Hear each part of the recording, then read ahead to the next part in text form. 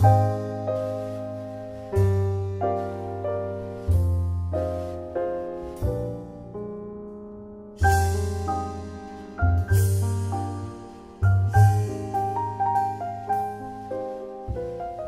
culto delle acque in Sardegna.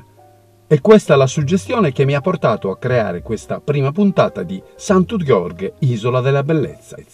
Seguitemi in questo viaggio nella bellezza. Credo di avere una ipotesi sui centenari ogliastrini. Sanno vivere mentalmente bene. Amano il bello, come si vede dalle loro costruzioni perfette intonate nei terrazzamenti. Bella gente, Buru. L'ogliastrino ha un suo stile mentale che tende alla condivisione di beni e affetti, alla mutua assistenza come antica legge sociale dei sardi.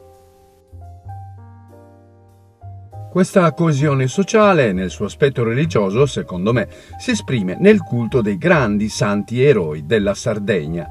Qui parleremo di San Saturno, quello delle terme di Benetutti, Qui, oltre il bellissimo stabilimento Aurora, le antiche vasche termali, che dicono romane, ma a mio avviso sono nuragiche, sono nascoste a tutti e solo i esperti vi sanno andare. Eppure, un tempo non era così.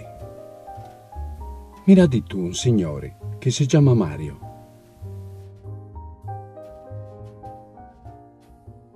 Quest'uomo Aveva una cava di granito a Olbia. Un giorno gli cade addosso un masso sulle gambe e gliele rovina per sempre. Poi ha avuto anche, poveraccio, un disastro aereo, per fortuna se l'è scampata, con un aereo della Meridiana e il suo danno alla spalla lo porta a curarsi alle terme di Benetutti.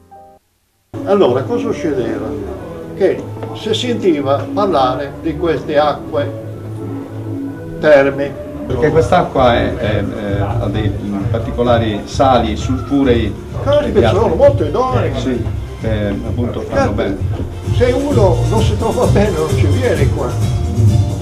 Ecco questo che le voglio dire io, che la gente qua venivano tutte le parti dell'Italia. Noi non, non abbiamo mai dato un valore di queste cose. Ma lei sa che quest'acqua è molto buona, che questi fanghi sono molto io buoni. Io ti, dico ancora una cosa, qui io non ci sono andato, me l'ha raccontato, mi sembra che anche mia moglie, non, non lo sicuro.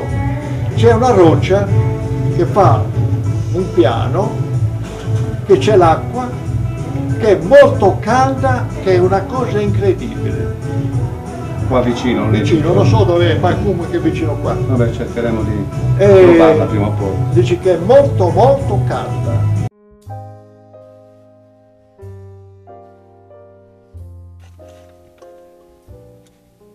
La ragione di questo programma è dimostrare che la storia saggia si comprende assai meglio cura tradizioni, la poesia, la religione, su connotto tramandato di mastro indigenti, che i libri di storia.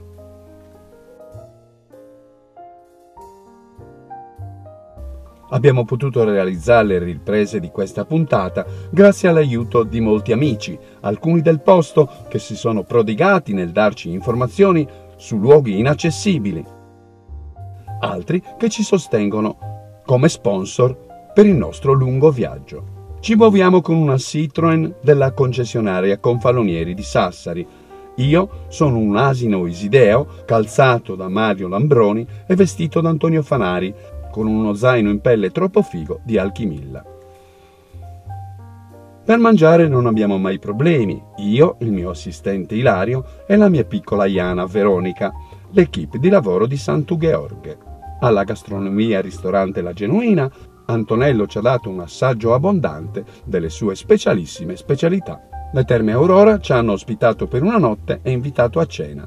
L'ultimo regalo che ci è arrivato è questo bellissimo Lepuzzu, utilissimo in viaggio, della storica coltelleria sassarese dell'Arrotino.